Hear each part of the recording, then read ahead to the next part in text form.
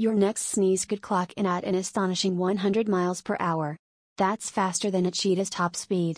When you sneeze, your body is forcefully ejecting unwanted invaders, like dust or pollen, from your nasal cavity.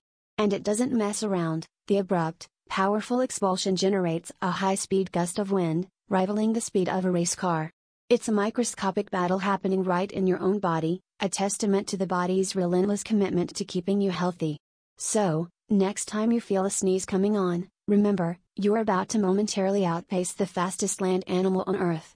Just, you know, make sure to cover your mouth.